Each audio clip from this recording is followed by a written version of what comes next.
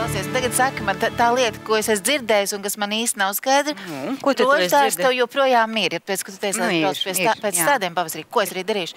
Bet uh, tavā privātās dzīves statusā esot izmaiņas. Es gribētu, lai tu pasaki pati, jo tas tiešām ir baumas, ko es esmu dzirdējis. Varbūt tas nemaz tā nav. Nu, nezinu, interesanti, kur tu būtu varējis dzirdēt. Tādā Aha, jautājums. Jā, nu, bet es domāju, ka tur slēpjams nav nekas. Kaut kāds posms ir dzīvē beidzies. Mēs to esam tā apusē vienojoties tā izlēmuši. Un, un, un papīra šķiršanās ir parakstīti. Un... Tad tagad tu esi tas, ko mēdz teikt, ā, brīva sieviete, vai, vai tu savādāk sauc to statusu? Nu, vispār jau mēs, Daina, katrs esam brīvs. Ne? Nu, nav, jau, nav jau tā laulība kaut kāda važa kaklā, bet, ā, nu, jā, ja tu sāc justies tā kā ļoti nebrīvs un ļoti, ļoti piesaistīts un ierobežots un sasaistīts un vēl visādi citādi, jā, tad, tad, jā, tad ā, kaut kādā brīdī liekas, ka tas nav īsti pareizi. Un tas bija tavs gadījums, ja? Nu, jā.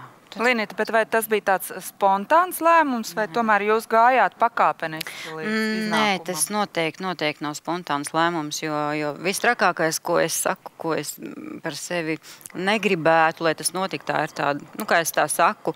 ā, Vienkārši valodā sako, lēkāt pa gultām. Jā, teiksim tā. No viena pie otra. Tas patīk, tas nepatīk. Un Tas ir tāds, man liekas, tas tāds saudzējams moments. un Es pie tā pieeju ļoti ar apdomu. Un arī, protams, laulības dzīve bija tā, ka nu, galu galā nu, visi mēs gribējām dzīvot ilgi un laimīgi. vai ne?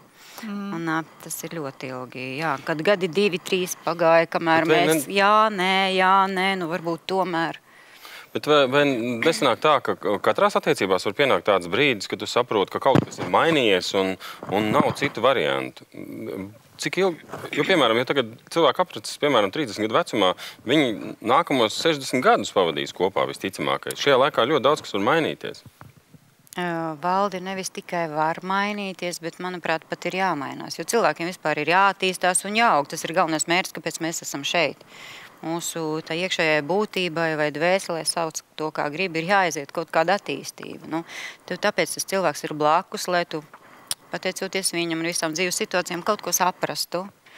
Un, un, un ir svarīgi, ko te tu esot kopā ar to cilvēku saproti. Mm -hmm.